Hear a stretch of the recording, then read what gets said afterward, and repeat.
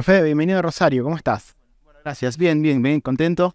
Y contento además de abrir la nueva plaza teatral en Rosario, porque me dijeron que viene bien, que y, y que nada, al ser nuevo, como que hacía tanta llamada y va queriendo.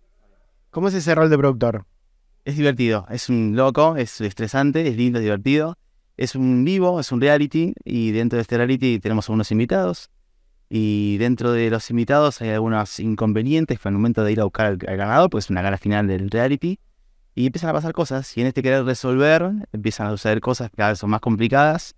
Y bueno, después tienen que verla para saber cómo termina, pero es, es bueno, es divertido y es, es estresante.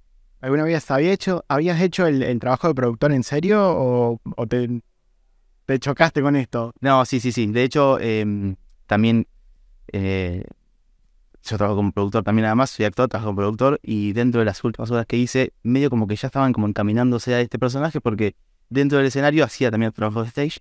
Entonces eh, es como que este, en este, en este personaje pude mezclar todo y es divertido. Fui como metiente, pendiente de todo, mirando para todos lados eh, y es muy divertido, la verdad que sí.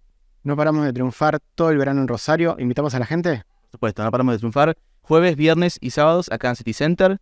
Jueves 21 horas, viernes y sábado a las 22. Los esperamos para divertirse, para reír y se van cantando, se van a, se van a divertir mucho. Gracias. A vos, a ustedes. Gracias.